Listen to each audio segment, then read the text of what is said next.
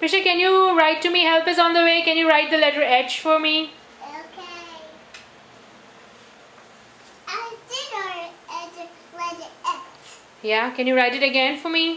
No thanks. What no thanks? Can you please write it? I need help. Help, help. Can you write H? Help is on the way for me?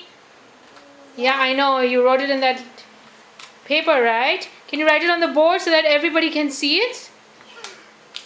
Can you please? Okay. Okay. Help is on the way. Straight line. And straight this.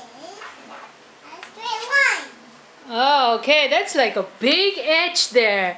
Very good, Prisha. That's the first letter you've written. Awesome. Can you write it once more for me? No,